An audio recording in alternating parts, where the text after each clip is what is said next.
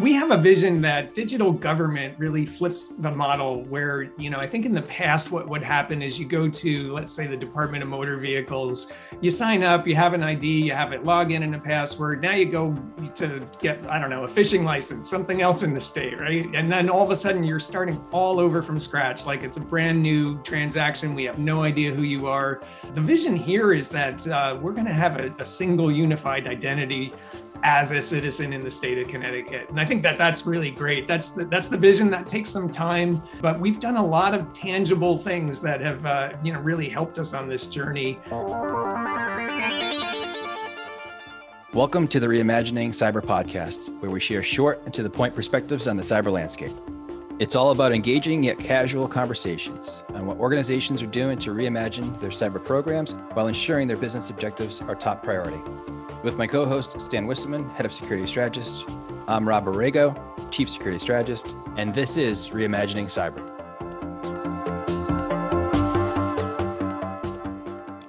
So, Stan, who do we have joining us for this episode? Rob, our guest today is Jeff Brown, the state of Connecticut's first CISO. Prior to his appointment to CISO in 2020, Jeff worked in the financial sector and led security teams at GE Capital, Citigroup, and Goldman Sachs. Jeff is also the author of a new book entitled The Security Leaders Communications Playbook Bridging the Gap Between Security and the Business. He's also co chair and governing body member of the New York CISO community and is an IANS faculty member. Uh, Jeff, it's great to have you on our podcast. And before we start, is there anything else you'd like to add about your background? Yeah, sure. Um, as it turns out, I'm, I'm mostly self taught with technology. So my background is actually in communications. Um, you know, at least my educational background is in communications um, I, I, felt that this uh, particular book, and we'll talk about that maybe a little bit later, but uh, was something that really uh, is a big problem in our industry about communication. So uh, that that is my background. Um, just recently, I'm about two years into the state service, so I've seen now the public and private sector, uh, and there's yeah, there's just a lot to talk about. I'm looking forward to it and you're absolutely right about communication as being a challenge. I've had that challenge myself, it has been said. so, um, looking forward to talking more about that a little later. Um, now, now, Jeff, the, the, your boss, the governor of Connecticut, has a, a digital government initiative underway, uh, and that's centralizing many of the IT functions for the state. And, and under that initiative, I understand you're unifying cybersecurity technology and processes across the state. So, so coming from the commercial sector and, and being the, the first CISO for the state, um, what has been your approach as far as trying to pull in some of these functions from the different agencies and and and delivering on this vision that's been set for you? Yeah, you know that's a that's a great question, and a, a lot of uh, there's really two things that are driving a lot of what we do in Connecticut right now from the government perspective. One is the digital government initiative. And to help support that, we are doing what we call IT optimization. Now, from a security perspective, you'll typically see, even in some of the big agencies like the Department of Motor Vehicles and Department of Revenue Services, you know, they might have a security person, right? Um, many of them have no security people. Uh, many of them have security people that also do general IT support. Um, so when we look at like how the agencies operate, uh, it's it's a tough challenge. I think when you're when you're that individual in an agency and you're trying to do everything that uh, a security person needs to worry about, that's not a great position to be in. Um, you know, that's a lot. That's a lot. It's, it's a lot, right? And uh, so the, the, the, interesting thing about that, though, is there's so much synergy with security people. I, I think security loves to collaborate. Uh, there's actually a group called the IT security officers roundtable that has been meeting for over 15 years now, which is just huge. And it was all the people from the agencies. This is an unchartered group that would get together and just discuss all of the challenges that we have trying to implement security. So really when when I started looking at pulling some of the security functions together, I was just amazed at how much natural synergy there was. Like people already knew each other, they'd already been talking with each other. Um, and and really when i look at like what benefits this gives to the state because ultimately we're all about you know serving our citizens Um, this gives us immediately better coverage for security for all agencies. I mean, now if somebody's out, we have an entire team of people that can back them up, right? Um, we're also able to better leverage skill sets. So, you know, we have some really good people that have to do compliance work. They're poking through logs all day, um, but they're really talented security people, right? So we can we can now kind of repartition how people are doing what they're working on, uh, making sure that we're really uh, leveraging things that we have in you know in our groups right now and i think that that's really good. So no one person is an expert in everything and that's the old model where we we had like really just like one person in an agency and they're supposed to know everything about security. Um, we all know that security is like a huge challenge now. That's just not the way to go. And then, really, at the end of the day, serving the citizens, it gives us a strategic, holistic view of risk across the entire state. Uh, we can common, you know, we can do common defenses, common products, and we can do simplicity over complexity. Instead of this highly distributed model, we'll now be doing a highly centralized model. And I think uh, overall, this is going to put us in a much stronger security posture. So, so Jeff, let's kind of go into that topic of the citizen side of it, because that's one of the core aspects of the initiative, right? Is the citizens first methodology and approach, and you know, looking at kind of those um, citizen interactions, a citizen experience, and, and, and that conversion to, to the digital um, overarching experience. So I want to talk about it in a sense of um, we recently had um, Gary Phillips on with um, with E Trade slash Morgan Stanley and had a very focused conversation as related to consumer identity access management and the things that they're doing on their end. And obviously, on your world, that C kind of translates into more citizens identity access management. But what does that look like for you in the program? As it relates to kind of the starting point, right? Turn back the clock almost two years ago now. Initially, when, as you got in, you kind of started assessing and all the different agencies, right? As you said, it's a decentralized model that's now becoming centralized. That's a it's a big you know part of solving the problem. But as you were there and where your target state is, like where are you in that journey, and what are some of the things you've come to you know kind of go through as lessons learned that you can share with us? Yeah, that's great. And I think that uh, strong security really does start with access control and, and uh, identity and access management. So it's really good, uh, good starting point, I think, on this journey. Um, we have a vision that digital government really flips the model where, you know, I think in the past, what would happen is you go to, let's say, the Department of Motor Vehicles, you sign up, you have an ID, you have a login and a password. Now you go to get, I don't know, a fishing license, something else in the state, right? And then all of a sudden you're starting all over from scratch, like it's a brand new transaction. We have no idea who you are. Um, the vision here is that uh, we're going to have a, a single unified identity as a citizen in the state of Connecticut. And I think that that's really great. That's the, that's the vision that takes some time. Um, but we've done a lot of tangible things that have, uh, you know, really helped us on this journey.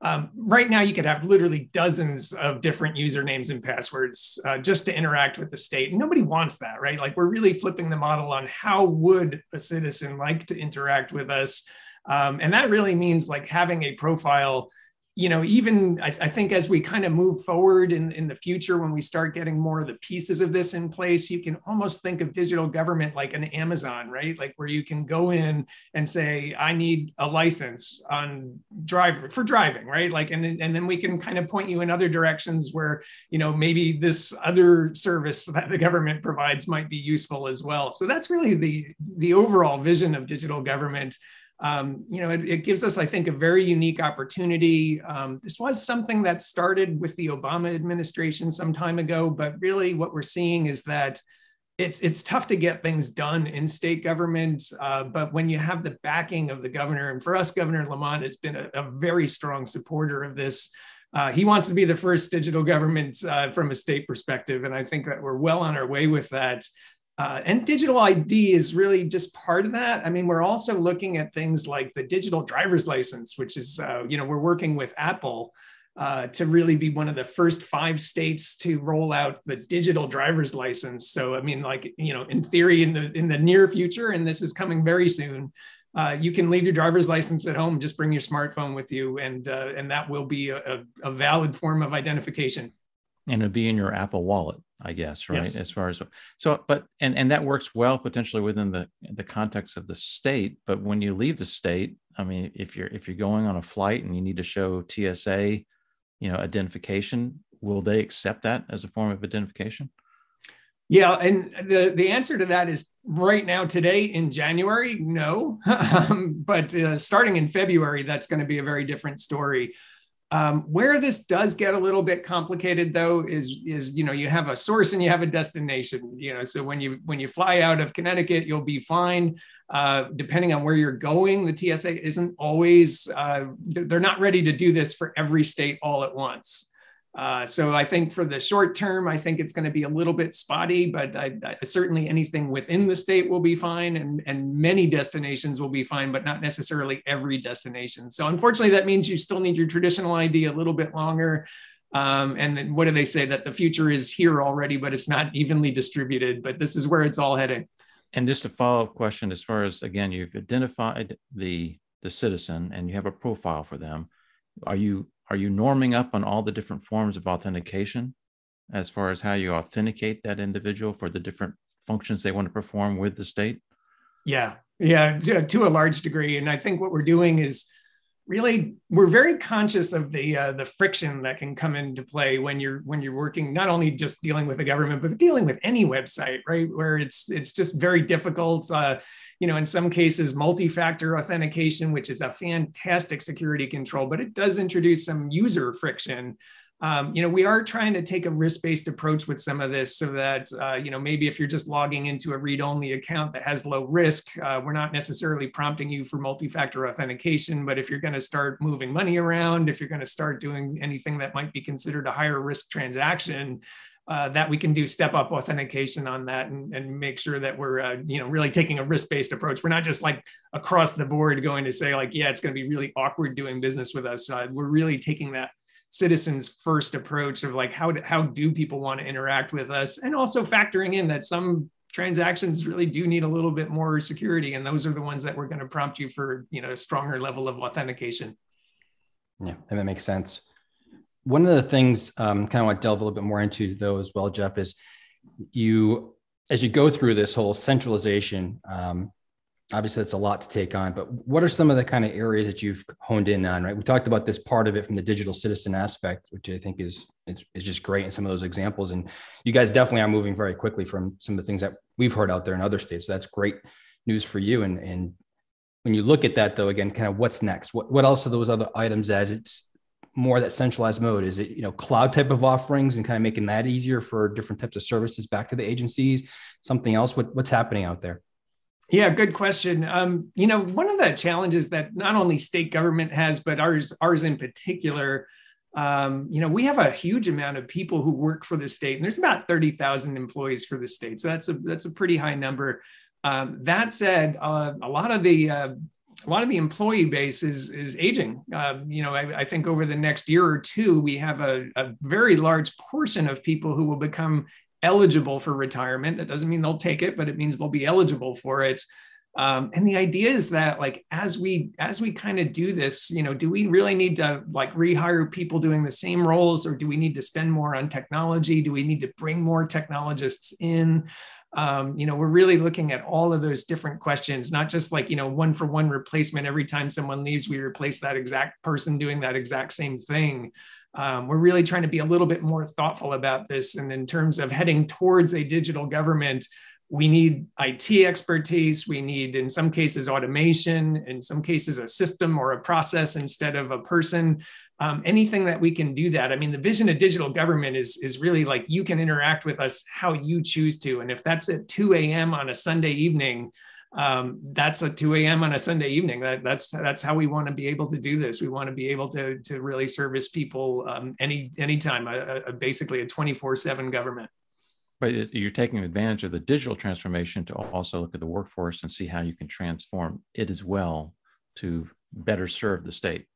Yeah, that is great. Um, now, now, Jeff, you are the first CISO at a state level that we've had on our podcast, which is fantastic. Um, but I, am interested to see how you've perceived this role. Um, you know, having come from the commercial sector, right? I mean, you've you've seen how the commercial sector done it. You know how the federal side does it.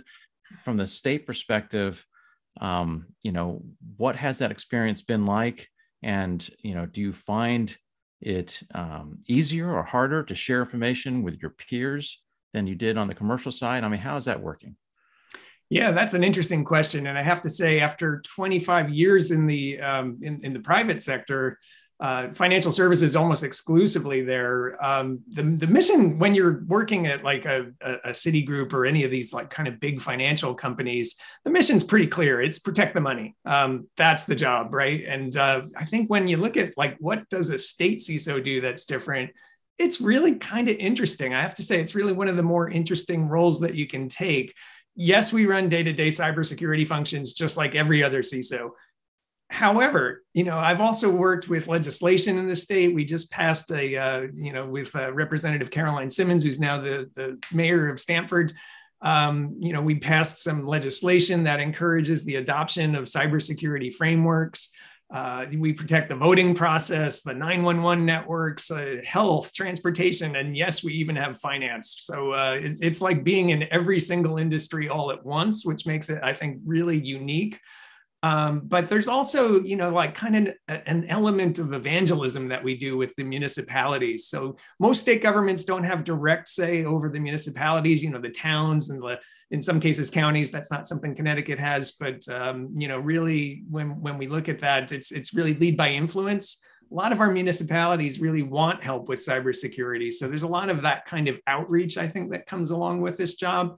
Uh, but also one of the really great things, I mean, I'm glad you really touched on that too, is about information sharing. Um, the partnership is really incredible. So, I mean, I've met like most of the other CISOs, many of which in person, um, you know, across all 50 states, really like 54 plus the territories.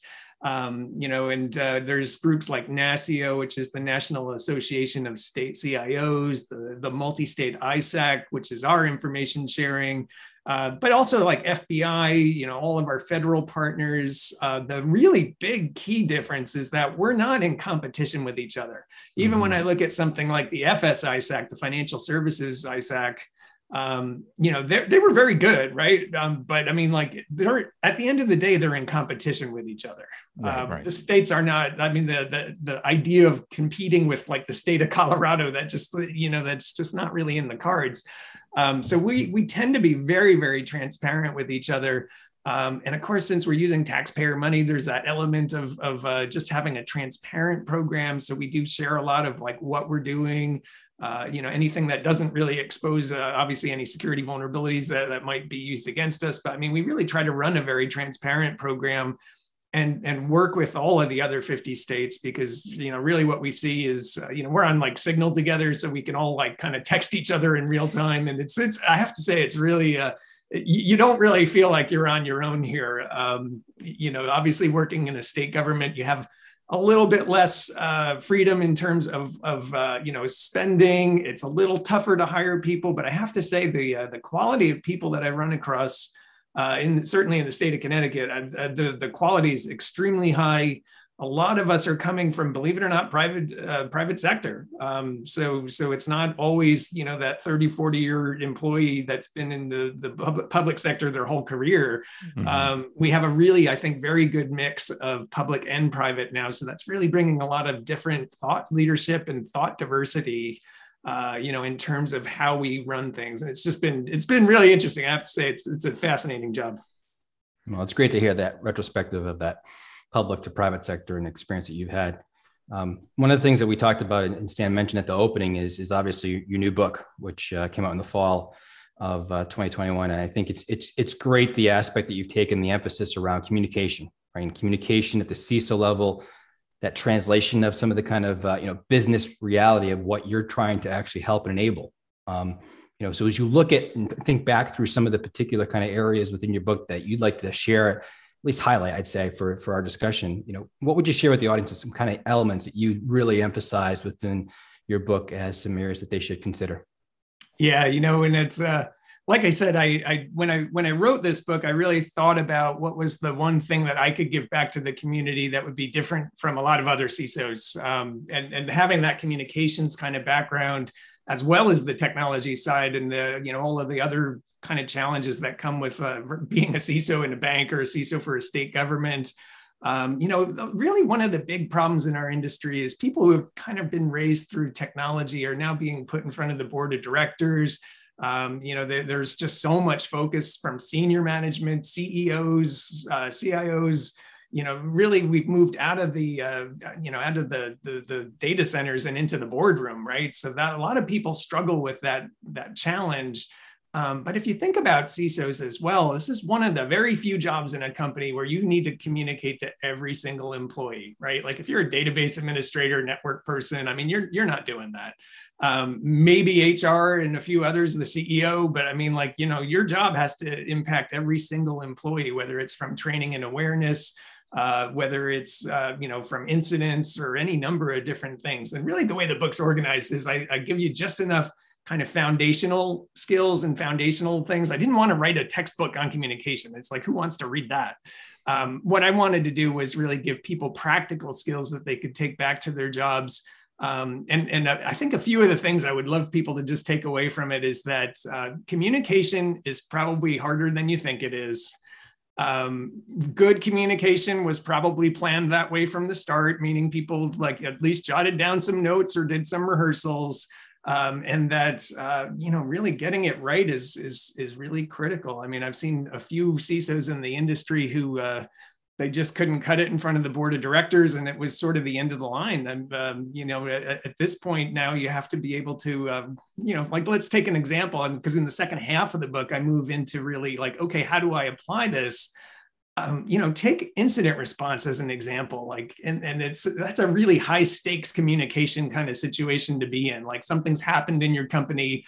Um, there's a lot of stakeholders who are going to be looking for information. And the one key thing that I really drive home about incident response is you know what you know right now, and a lot of it's going to change. So, like, the more you start communicating that stuff, uh, the more you may have to go back and, and make some changes. And yet at the same time, people are demanding updates, right? Like what's going on with this? And it, you know, it's tempting in some cases for people to just start speculating or you know things like that and you can't do that because it's you have to really work with the facts and the facts are going to change so really working with everybody and setting those expectations early on. It's it's a it's a really challenging set of communication skills that you need. You may be you, you may need to be doing writing. You, will definitely have to be doing speaking. And worst case you might be on the news um, right? So there's all these different scenarios. Um, you know and it just it, I think it really underscores how how how challenging the communication aspect of our job has become over time. No i've been in that situation before and and you're right. It, it's is one of those things where you want to communicate internally appropriately without potentially losing credibility as things change. And yeah. having that balance of immediate response, but not having to then correct yourself time and time again, and thus losing your credibility because you've learned more about the incident. Um, it's, it's a real challenge. Yeah, you're right. It's true there was another example I think maybe think about as you alluded to the incident response aspect of it. And it was a tabletop exercise several years ago. And um, it was, you know, public company and you're going through the, you know, what's happened. Well, some information's flown out and it's out externally. So now to your point, the media outlets are starting to hit you because you're a pretty big sizable company. How do you communicate with them? And it was the the the element of ensuring that public relation you're in public relations your comms people are part of the exercise part of understanding what's happening because they're going to be the ones really massaging what that message looks like and, and kind of giving them you know a little bit of we're dealing with something but not over communicating or miscommunicating. So critically important. Jeff thanks for joining us. Really appreciate the the aspects of kind of the bridging of the private public sector aspect of your, your journey, but also, you know, we commend you on the transformation efforts that you've been going through over the past couple years now. And it sounds like you're on this great journey to, uh, to, to be in that first state that truly is very digitally focused, minded, and enabled. So we appreciate your time and thank you for coming on. Thank you so much for inviting me. Thanks, Jeff. Thanks for listening to the Reimagining Cyber podcast. We hope you enjoyed this episode. If you would like to have us cover a specific topic of interest, feel free to reach out to us, and you can find out how in the show notes. And don't forget to subscribe.